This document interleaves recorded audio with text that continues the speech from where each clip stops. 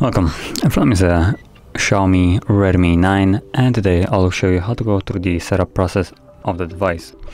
So when you boot it up for the first time you'll be presented with this small screen right over here and let's tap on the arrow to get started.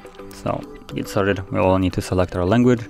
For me I'm gonna stick with English which is selected by default but if you want to use any kind of other language just scroll down and select whichever language you want to use by simply tapping on it. And from there tap on arrow to go to the next page where you get to select your region. So again, select your region. You can tap on the search bar right here to quickly find it, but I'm going to stick with this one. And then connect to network. And this step is completely optional. If you want to, you can connect to some kind of Wi-Fi. If you don't want to, you can completely skip it. Uh, you might not want to constrain, for instance, you don't have uh, accessible Wi-Fi near you, so just tap on skip. And the only thing you will miss out right now is the ability to log into your Google account, which rest assured you can do later on after the setup is complete simply by going to the settings and from there connecting to Wi-Fi and then adding an account. And then next page, uh, terms and conditions, uh, because nothing welcomes us uh, better into our new device like agreeing to terms and services. So obviously we need to uh, check that we have read it uh, thoroughly and agree to the user agreement and privacy policy. And then tap on next.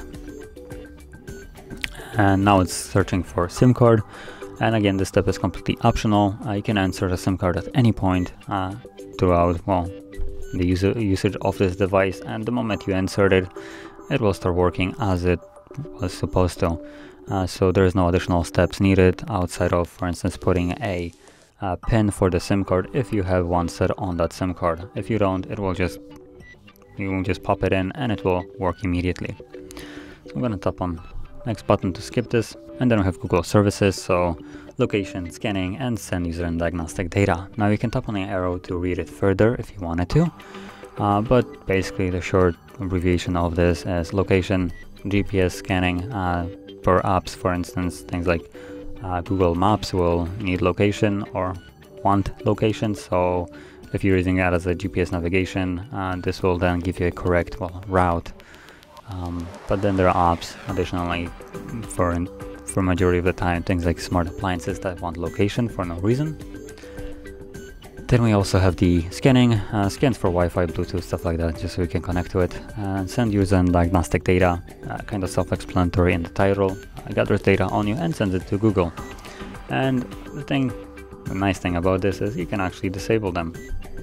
Now keep in mind that when you disable uh, location and scanning, uh, basically uh, all those options will be disabled, so Wi-Fi and well, navigation, uh, GPS tracking will be disabled and when you try to open an app, for instance like Google Maps, uh, it will not find your current location until you turn it on and uh, if you try to use it as a GPS navigation the device will prompt you that it needs uh, needs you to turn it back on.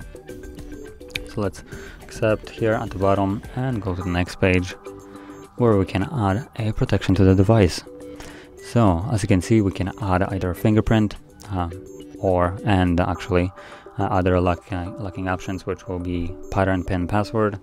So if you try to add a fingerprint you will be required to actually add uh, also pin pattern or password.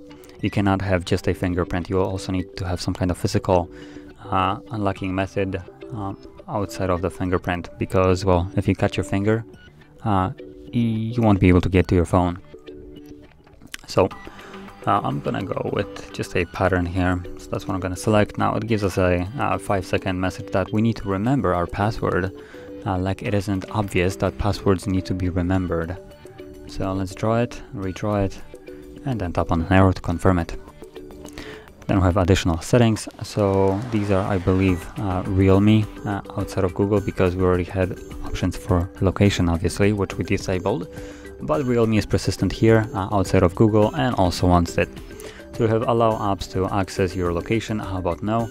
Uh, user experience programs uh, help us improve our products. Uh, so again, this is basically send user and diagnostic data uh, along with the actual uh, send diagnostic data automatically. And then automatically sync automatic system updates. Um, So when there's an update, the device will automatically download it and install it. Uh, this is completely up to you if you want it or not. And then we have personalized ads, uh, which is, uh, keep in mind, I believe if we disable it, yep, this is the only one that is actually like really persistent on trying to stay on.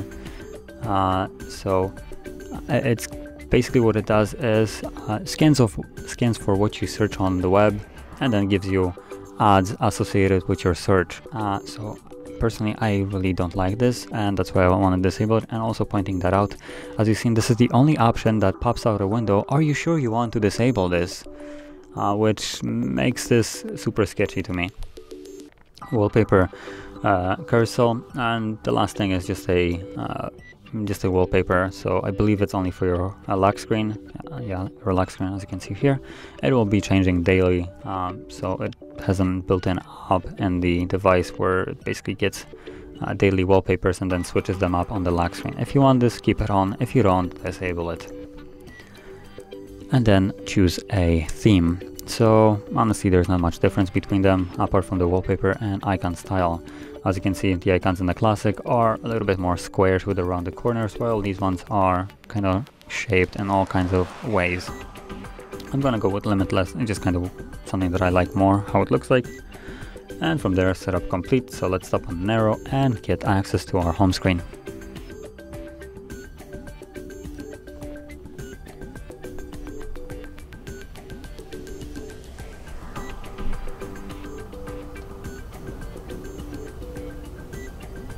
And uh, there we go. So, if you found this video helpful, don't forget to hit like, subscribe, and thanks for watching.